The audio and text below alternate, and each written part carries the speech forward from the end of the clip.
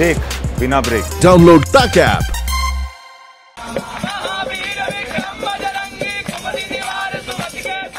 Banaras Hindu विश्वविद्यालय में VC दफ्तर के बाहर भजन कीर्तन हो रहा है।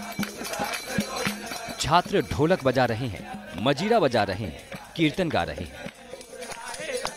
ये भजन कीर्तन पिछले 12 दिन से चल रहा है और सिर्फ़ दिन में नहीं रात में भी चल रहा है। मतलब चौबीसों घंटे ये छात्र वीसी दफ्तर के बाहर डटे हुए हैं और चौबीसों घंटे इनका भजन कीर्तन जारी है। दरअसल ये इनके विरोध का तरीका है। ये इस बात का विरोध कर रहे हैं कि बीएचयू के संस्कृत विभाग में मुस्लिम प्रोफेसर फिरोज खान की नियुक्ति क्यों हुई? काशी हिंदू विश्वविद्यालय अधिनियमों में स्पष्ट तौर पर उल्लिखित है कि वैदिक विज्ञान, वैदिक कॉलेज अर्थात संस्कृत विद्या, धर्म विज्ञान संकाय में सनातन धर्मावलंबियों के विरुद्ध जो भी धर्म है, उनका प्रवेश वर्जित है। तो जो यहाँ की नियुक्ति प्रक्रिया नियोक्ता हैं, उन्होंने इस नियमों को ताक पर रख के दरकिनार करते हुए काशी हिंदू विश्वविद्यालय में एक गैर हिंदू प्रोफेसर की नियुक्ति कर दी।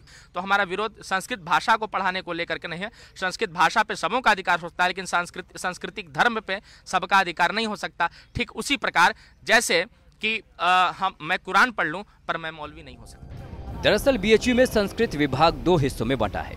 एक हिस्सा संस्कृत संकाय का है दूसरा संस्कृत विद्या धर्म संकाय का है। विरोध कर रहे छात्र कह रहे हैं कि उन्हें इस बात से परेशानी नहीं है कि फिरोज खान संस्कृत पढ़ाने क्यों आए हैं। बल्कि उनका विरोध इसलिए है कि फिरोज को संस्कृत विद्या धर्म संकाय में नियुक्त किया गया। मुसलमान प्रोफेसर से कोई दिक्कत नहीं है। देखिए, इतना बड़ा अगर इतने एकड़ में जो बना है विश्वविद्यालय, मदन मोहन मालवीय जी ने जो इसको बनाया है तो इतने जब फैकल्टी हैं, सोलह फैकल्टियाँ हैं, इसमें संस्कृत डिपार्टमेंट दो क्यों बनाया है? इस पर किसी ने गौर नहीं किया। ठीक? एक संस्कृत फैकल्टी जो है, आर्ट फैकल्टी में है। उसमें सभी वर्गों के, सभी धर्मों के लोगों का पढ़ने के लिए अनिवार्य है। कोई भी आके पढ़ सकता है, जान सकता है, पढ़ा सकता है, समझ सकता है।